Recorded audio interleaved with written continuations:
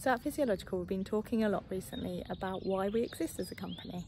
So the main reason we exist is we want to be able to help you to live an active life free from pain and injury. So we have three main core values, which are caring, partnership, so we work together with you to achieve your goals, as well as professional. We aim for excellence in everything we do.